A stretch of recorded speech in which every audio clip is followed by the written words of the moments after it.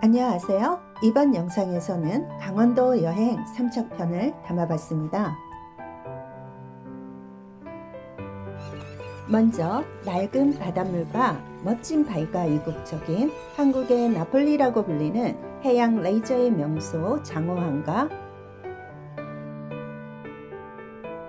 세계적으로 유명한 BTS의 버터 앨범 자켓 촬영지로 유명한 랜당 해수욕장 그리고 작년 4월 53년 만에 일반인들에게 공개한 덕봉산 둘레길을 보여드리겠습니다. 장호항의 전망을 보려고 삼척 장호 해상 케이블카를 타보기로 하고 왕복은 만원, 편도는 6천원인데 편도만 이용하기로 했어요. 용화역으로 내려가는데 탑승 시간은 7분 정도 걸리는 짧은 거리지만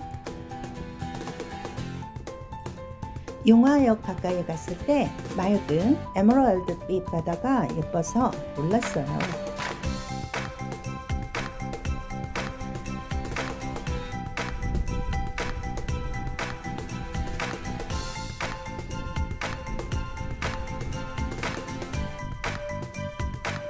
용화역에서 내리면 용화 해수욕장이 나오고 산책로 아래로 내려가면 작은 해변이 나오는데 맑은 에메랄드빛 바닷물이 멋진 바위들과 어우러져 환상적이었어요.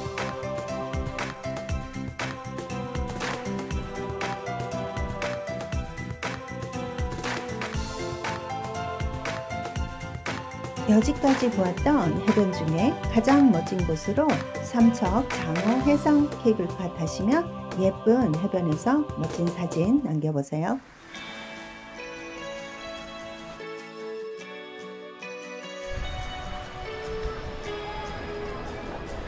용화역에서 내려오면 용화 해수욕장이 나오는데 장어항처럼 어촌 체험말이고 예쁜 다리 아래가 스노클링 hot point예요. 용화역 주차장 아래 있는 계단을 내려가면 장호 해수욕장으로 이어집니다. 케이블카가 장호역과 용화역 승강 사이를 오가는 게 시원하게 보이고 해양 레저를 즐기는 분들도 있어요. 또한 캠핑장과 글램핑장도 잘 돼 있어서 이용하면 좋을 듯합니다. 케이블카 용화역에서 15분 정도 걸으면 한국의 나폴리라 불리는 장호항에 도착해요.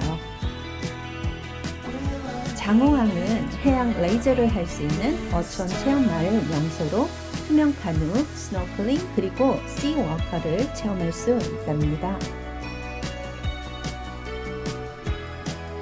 유명하다 보니 이용자들이 많아서 주차장이 협소하고 파라솔 대여도 많지 않고 음식점도 혼잡해서 편할 수 있어요. 하지만 깨끗한 바닷물과 멋진 바위가 어우러진 풍광이 좋은 곳에서 해양 레이저를 즐길 수 있는 곳이라 이용자들이 많아요.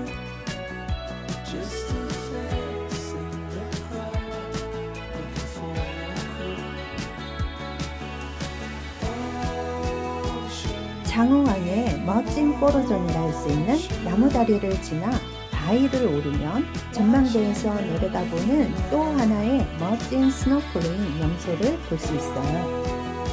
장호항 전망대에서 내려다본 장호항 끝부분 기암괴석으로 이루어진 스노클링 명소인데 진한 블루와 에메랄드빛 이중 컬러 바다가 바위와 어우러져 마치 신선이 논일된 것 같네요.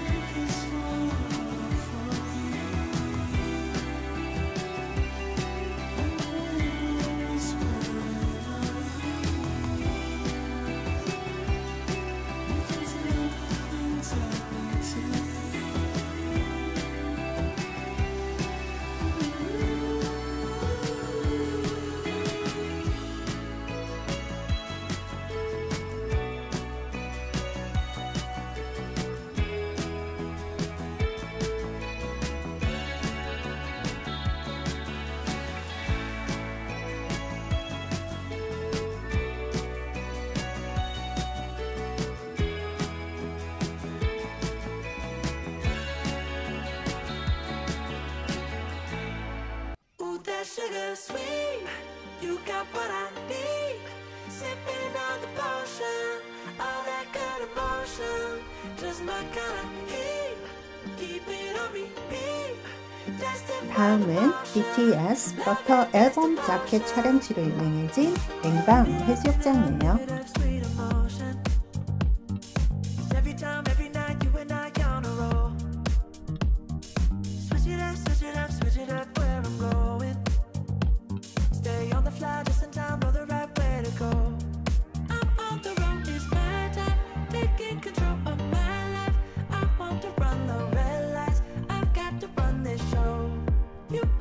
맹방 해수욕장 몇 개의 포로전을 지나 끝쪽에는 덕봉산 해안 생태 탐방로로 가기 위한 외나무 다리가 있어요.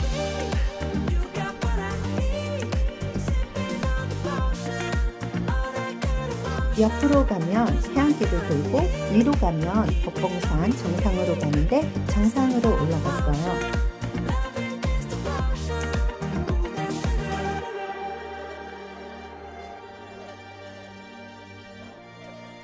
덕봉산 정상은 53.9m밖에 되지 않지만 두 개의 해수욕장 전망이 시원하게 펼쳐지는 멋진 전망대예요.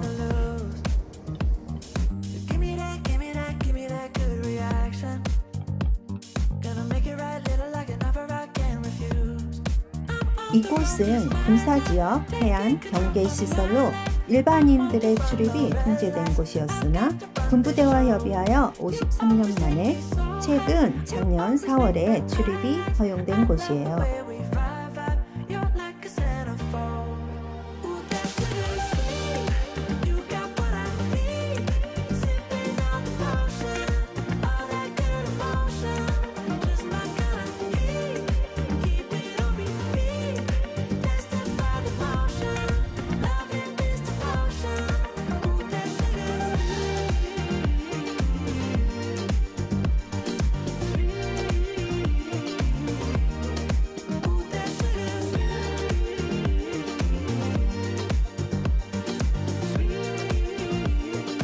정상에서 내려가면 해안길과 덕산 해수욕장으로 이어져요.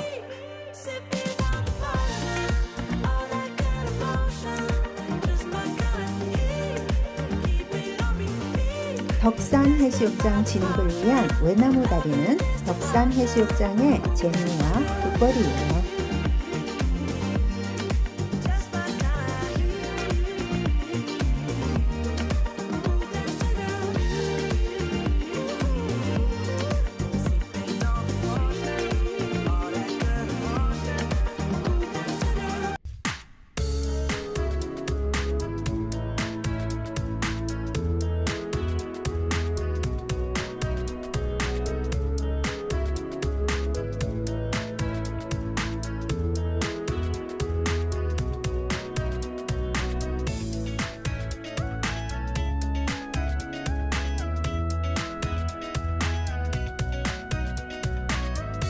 시청해 주셔서 감사합니다.